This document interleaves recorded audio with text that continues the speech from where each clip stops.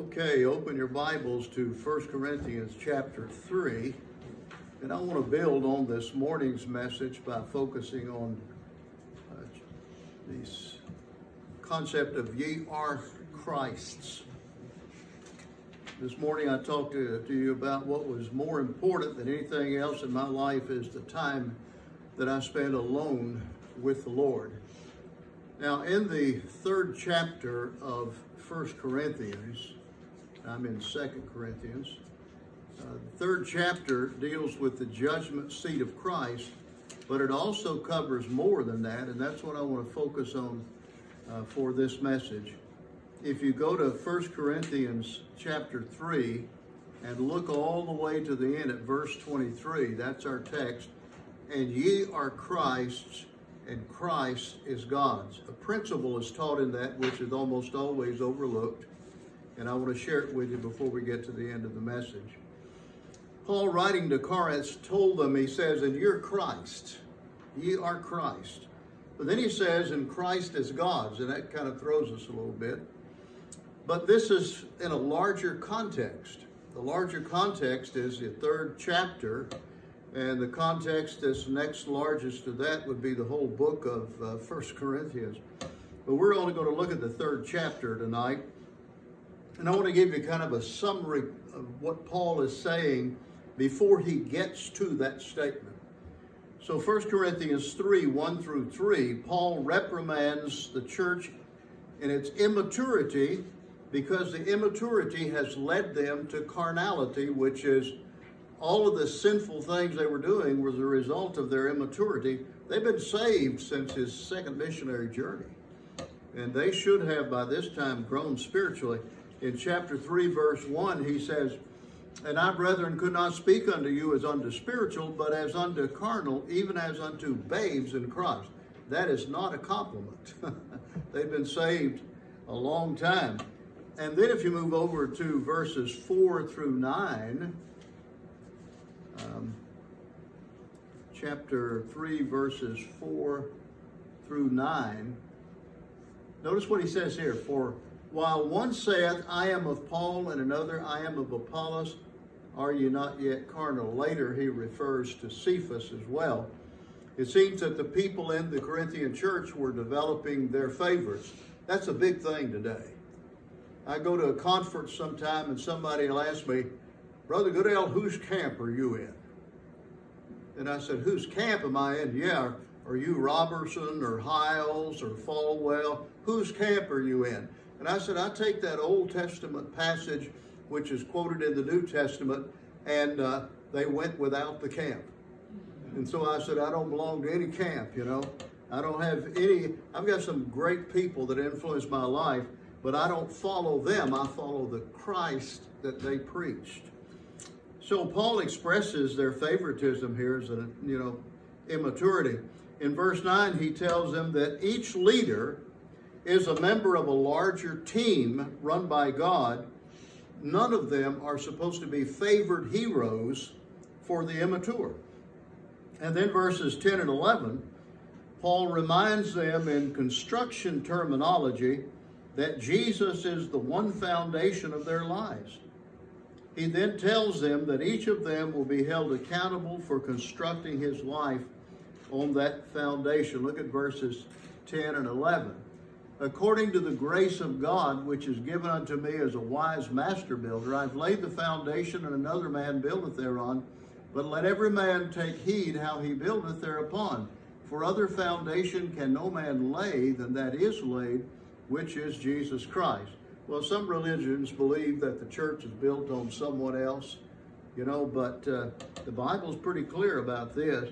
This is the one foundation. By the way, uh, Paul, in reminding them about their construction terminology and the one foundation of their life, he then tells them that each of them will be held accountable for the superstructure that he builds on that foundation.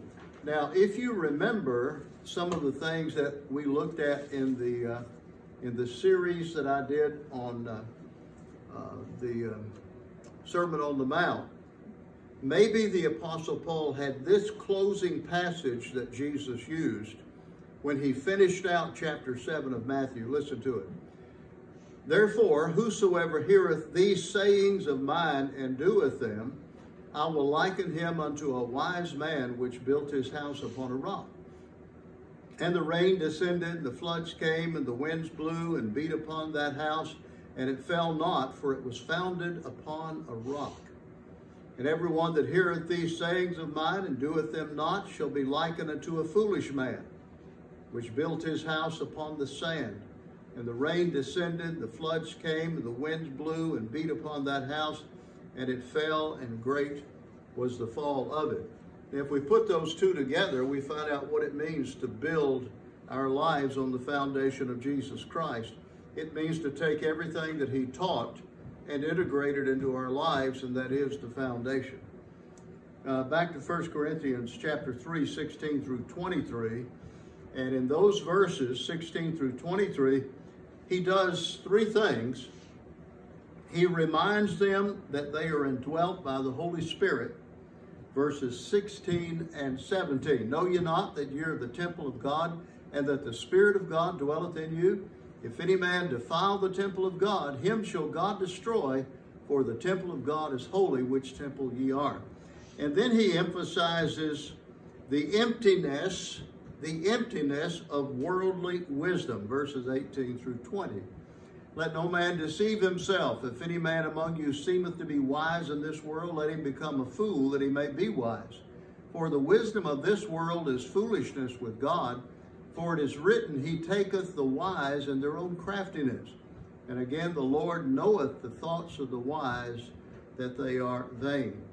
And then he reminds them of their specific relationship to Jesus Christ in verses 21 through 23. Therefore, let no man glory in men, for all things are yours, whether Paul or Apollos or Cephas or the world or life or death or things present or things to come, all are yours, and ye are Christ's, and Christ is God's.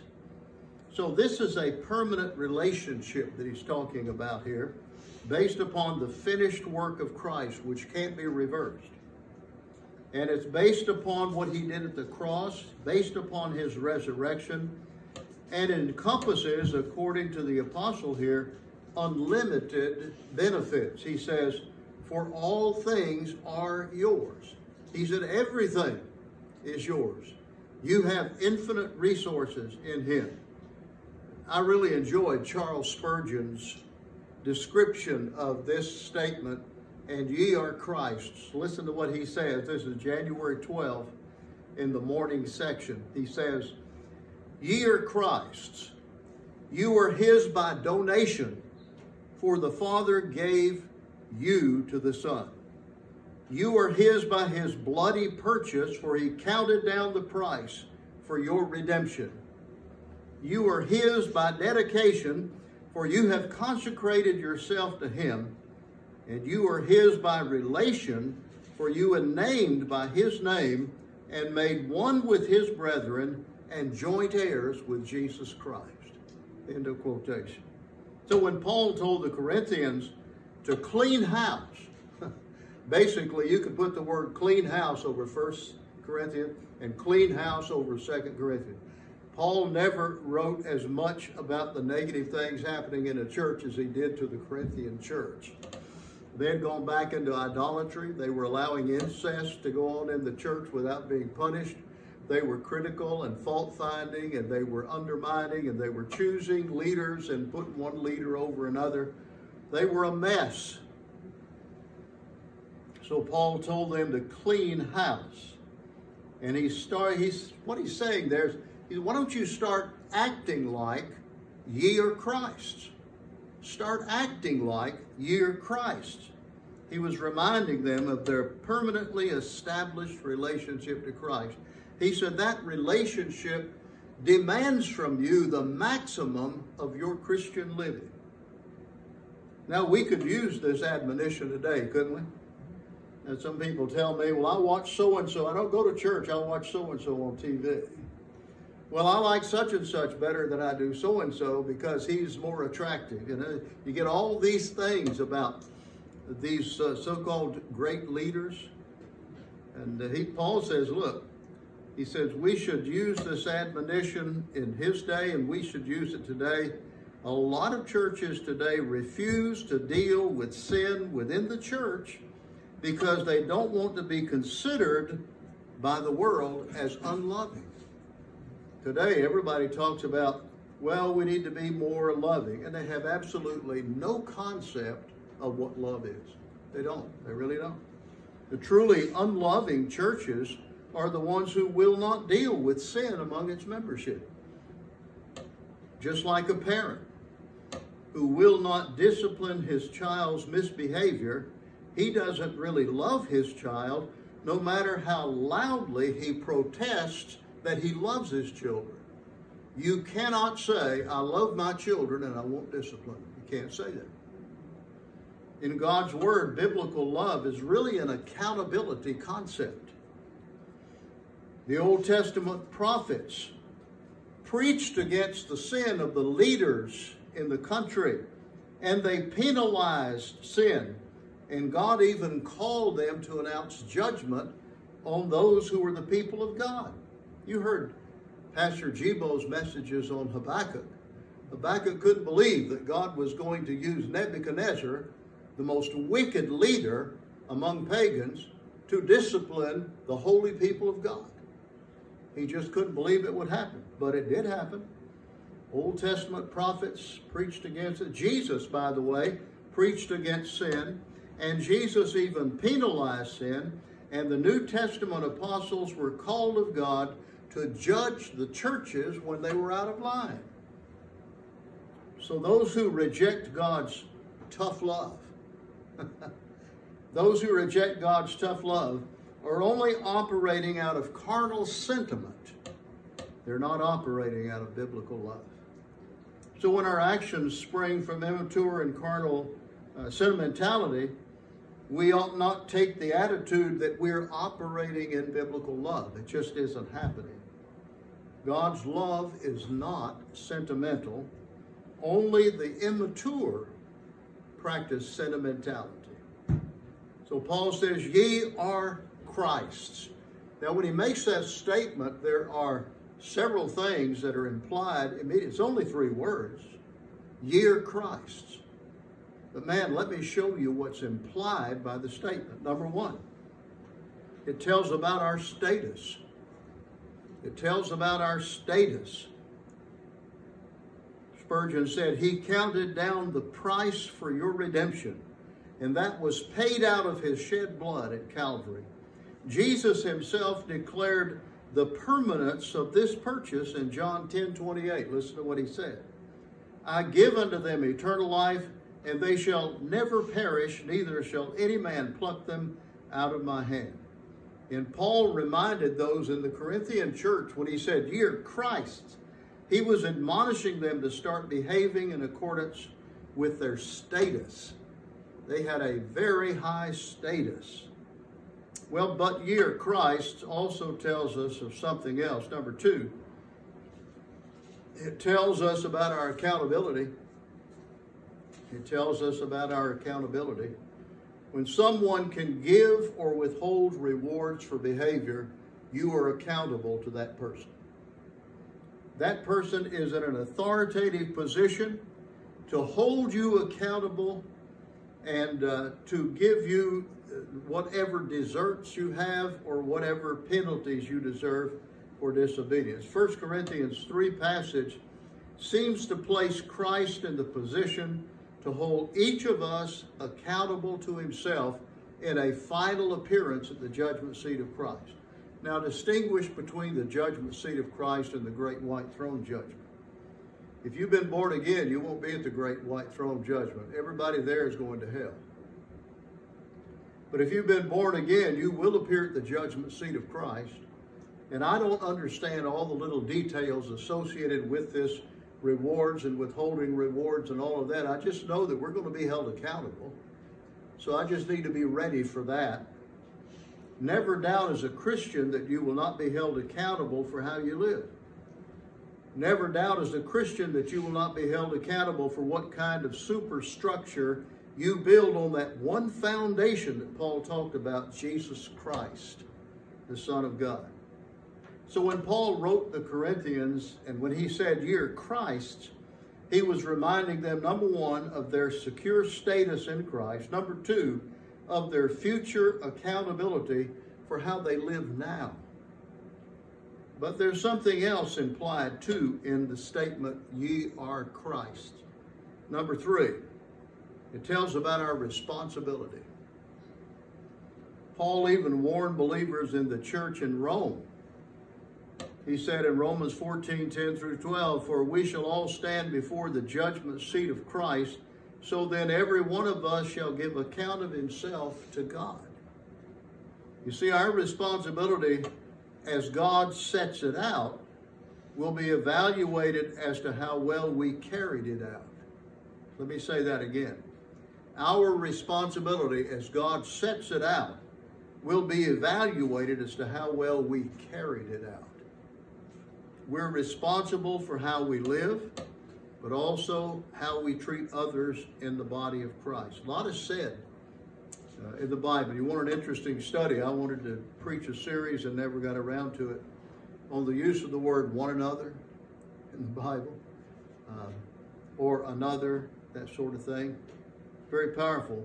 Just go through. If you got a if you got a concordance, you just look up one another and go to every place that mentions. Listen to this. Romans 12, 5. So we being many are one body in Christ, and every one member one of another. Every saved person has an obligation to every other saved person. In the local church, this is particularly true. Paul tells believers at Romans, at Rome in 12, 10, he says, being kindly affectioned one to another with brotherly love, in honor, preferring one another. And then Paul encourages them to think alike toward one another. Be of the same mind one toward another, Romans 12, 16. This prevents unfavorable comparisons between people in the church. In Romans 13, 8, he says, to love one another. In 14, 13, he says that they are to avoid a judgmental attitude one toward another. He's not saying no judgment should take place. What he's talking about there is needless criticism of somebody you disagree with. This verse encourages us that we can prevent stumbling in the lives of others by our own personal conduct. In Romans 14 19, Paul tells us we have the responsibility to make peace and to edify one another, build each other up. Help with that superstructure your, your fellow Christian is building on that foundation. And maybe that man will come around later and have to help you with your superstructure that you're building on that foundation. There are many references in the book of Romans and the other letters of the Apostle Paul as well. Ephesians is the big one to our responsibilities toward one another in the one body of Christ. One reference in Romans, I think, encourages loving rebuke of one another. When you love people, that doesn't mean you don't confront them on their sin. Doesn't mean you don't rebuke them, but it does affect your attitude when you do the rebuke. Listen to what he said. Romans 15, 14. He says, And we are able to admonish one another. And uh, that's a very important verse. Remember this. We're talking now about Paul's statement to the Corinthian church in 1 Corinthians 3.23. Ye are Christ. And we're asking and answering questions as to what does that really mean. First of all, we said it tells of our status. We are purchased by him, and because of that, we are not our own, we belong to him. Secondly, it tells us about our accountability. We are accountable now, but we will ultimately be held accountable when we stand at the judgment seat of Christ. And then, thirdly, it tells about our responsibilities that as members of the one body, what he calls the church, we are responsible for all believers within the church. None of us is an island unto himself. Well, let me give you number four. This is the last one. And then you'll get out early tonight. Number four, it tells us about our resources. It tells us about our resources. As joint heirs with Christ, we have everything he has. 1 Corinthians 3.22 says, things present, things to come, all are yours. And Paul was combating what I think was the wrong attitude of competition between church members within the church at Corinth. I don't think anything can be as dastardly in destroying a church as people running around thinking they're better than somebody else in the church and comparing themselves and using those unfavorable comparisons against others. And then those people who actually believe those unfavorable comparisons begin to put themselves down when they have no reason to do so. Paul was combating the wrong attitude of competition between members in the church at Corinth. He says in 1 Corinthians 3.22, whether Paul or Apollos or Cephas, meaning Peter, or the world or life or death or things present or things to come, that covers it all, right? He says, all are yours because you are joint heirs with Christ. Then he tells them why. And ye are Christ, and Christ is God's. Now, there's an important principle I told you I was going to give to you at the end of the message. Verse 23. You don't want to miss this point. Very crucial point. Just as there is no division in the Godhead. Think about that. We have God the Father, God the Son, God the Holy Spirit. They're all co-equal. If you talk about the Holy Spirit, you're talking about God. Talking about Jesus Christ, you're talking about God. Talking about the Father, you're talking about God. Take that, you Jehovah's Witnesses. You know, and what I'm saying here is what, what he's talking about is you can have individuality and you can have that individuality without division. Or maybe I should say without divisiveness. So just as there is no division in the Godhead, Christ is God's, what he's saying here is there should be no division based on competitiveness between the members in the body of Christ. Boy, that's a powerful principle, isn't it?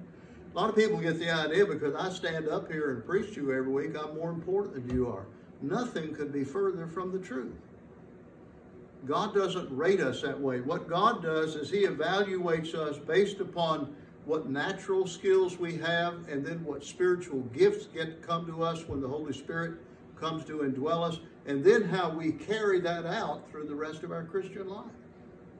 Just because your spiritual skill might be giving, and my spiritual skill might be teaching in front of the congregation, that has nothing to do with our importance.